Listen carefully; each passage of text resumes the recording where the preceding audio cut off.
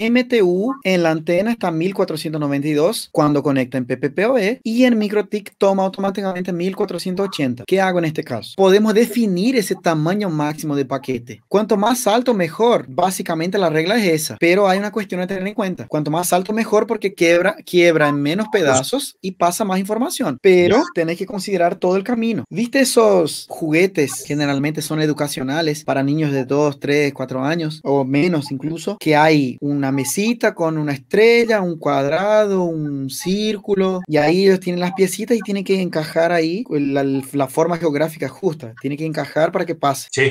O tienen un tamborcito y tienen que poner todo adentro. Sí, correcto. Más o menos así sería el MTU. Tenés que imaginar que en la punta, cuando definís el tamaño del, del MTU, estás definiendo el tamaño de tu piecita de este bloque. Si es un triángulo, si es un cuadrado. Si es un cuadrado, esa piecita va pasando por todos los routers y todos los equipos. Viene el cuadrado y llega acá. El MTU es más grande o es igual. Entonces pasa. De la antena estaba 1492. Ok. El MikroTik está 1492. Entonces pasa. El otro MikroTik está 1492. Pasa. El otro MikroTik está 1480. Opa. Ahí es un cuadrado y estás tratando de encajarlo en un círculo. No pasa. ¿Qué pasa en este caso? Depende mucho de la configuración, depende del equipo. Definir el tamaño del MTU. Todo el camino, ese MTU tiene que estar permitido. Tiene que estar como mínimo el mismo tamaño. Si en tu antena definiste que el MTU manualmente va a ser de 1492, que te toma por defecto, la interfaz física del MikroTik podés ingresar y vas a ver, automáticamente te toma 1500. ¿Y por qué entonces con PPPoE la antena me da 1492? Porque a eso se agrega 8 bytes al paquete, al encabezado del protocolo IP, y él ya sabe que esos 8 se va a usar por el protocolo PPPoE. Entonces te limita el paquete real a 1492. MikroTik permite 1500